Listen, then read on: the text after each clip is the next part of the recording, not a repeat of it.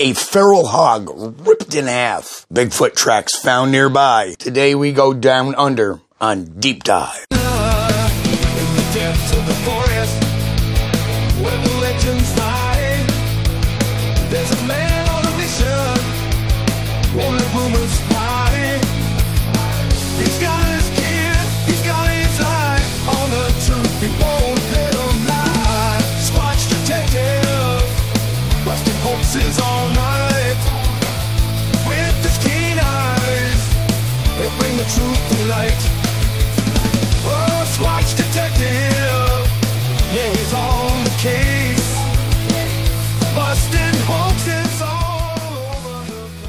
So today's video comes to us via Down Under, Australia. And what it shows is this hog ripped in half, allegedly, and uh, some Bigfoot tracks found around it.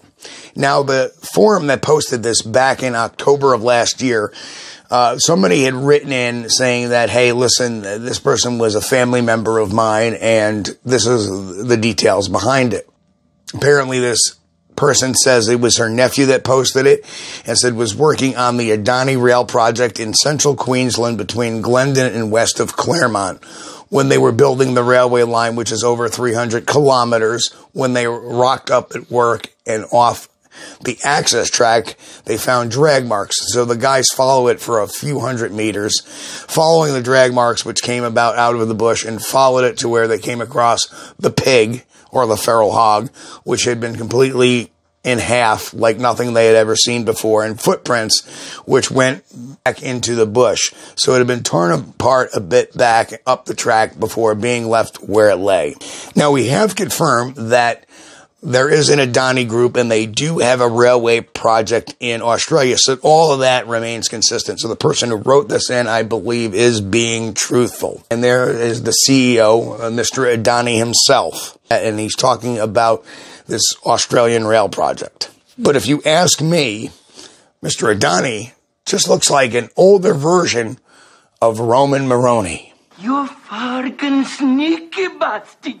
So take a look at the video and we'll be talking about it next, but keep an eye on that footprint. You got a cigarette box? No, just put my boot next to it. Brick clean in half, and then this next to it.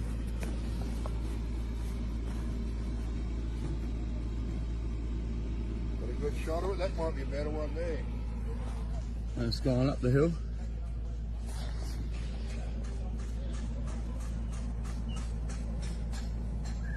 Hey, what about just digging a hole and burying it?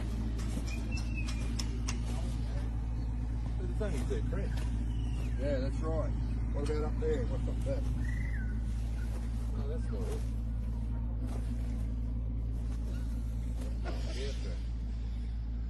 Well, you can see where some- So the video and the audio sounds pretty authentic. I don't believe these guys were hoaxing somebody, but I think they may have been hoaxed themselves. I want you guys to keep an eye out for those toes and when I'm circling here, uh, that mid-tarsal break. My first concern about this is the footprint itself. It does not look as wide as your typical Sasquatch. Here you see the foot of the person taking the video and his heel width seems pretty consistent with the heel of this footprint here. If we look at the mid-tarsal break here, it appears that that flex point appears more human-like than actually does Sasquatch type. The, the mid-tarsal is set more closer to the toes than midline of the foot, which is characteristic of Sasquatch prints. In the video, we see a brief glimpse of what appears to be a trackway, but the trackway does not appear to really have long strides. They appear to be, you know, very short strides.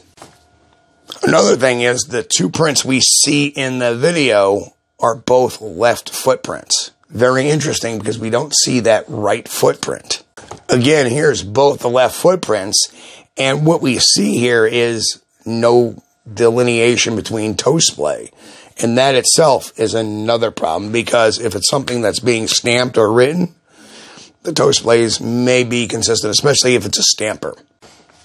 In taking a look at the creature, we see that the tear or uh, being ripped apart, it appears to be evenly cut right down the middle. In the unblurred version, you can clearly see there seems to be no signs of predation on the animal either. And it is obvious it's not the kill site. There's no blood around it or anything like that. So the creature had been dead and moved to the area where it is now. The other concerning thing, as the describer or the person who wrote in, the aunt or uncle said that, hey, you know, thing had been dragged for, you know, a, a few hundred meters. I don't see any obvious drag marks in the video. I mean, it could be just the video is not good enough to show that, but one would think they would have showed those drag marks. So in summation, what I think we're looking at, given the footprint evidence, the footprints obviously do not look real to me. The toes are awfully even lined. The mid tarsal breaks in the wrong place. Um, and there's a big hump there, which would mean that the foot would have to be, you know, and I understand it could push off. So, I mean, obviously it looks like to me the mid tarsal is way too far up to be a Sasquatch to boot. There's no differentiation in toe splay, which even leads more to my suspicion. We see in the video two of the same foot, two left feet, no right foot. The strides are, you know, not long enough in the area where we see it, you know, where he, they flashed and then was walking up the hill. Um, and again, uh, the animal, no predation, looks evenly cut. It doesn't look like it was ripped apart. And the other thing too is why would something kill a hog, drag it 500 feet and not consume it? Um, it looks like it was killed for no reason, which makes no sense because why would you drag something 500 meters and then, you know, not eat it if that's your plan? And you would have to have dragged them both. And one of the things you would find one in one place, one in the other. Where, where's the predation? We don't see any predation marks on it at all. And if you think about it, how can you rip a sat, how can even a Sasquatch rip a pig in half? I mean, if you grab it by the tail and grab it by the jaw, either the tail or the jaw is going to come off first before it splits in the middle. Uh, if you grab it by the legs, the legs are going to come off before you tear it in half. But the interesting thing is here, and I think the uh, aunt or uncle made a great point. This is part of a rail project. What if that hog got caught in between a boxcar and got run over by the rail, split in half? Then they, they move it, they drag, they drag it out of the, the rail line to get it out of the way, and that's what we have. So that's what I'm thinking. This hog was actually split in half by a rail car. You know, it may have run under one of the cars while the train was moving and boom, that was it. So I think that's a more plausible explanation. And given the fact that we know now it's part of a rail project, not just randomly found somewhere, that makes a lot of sense of how this happened. So anyway, that's my take on it.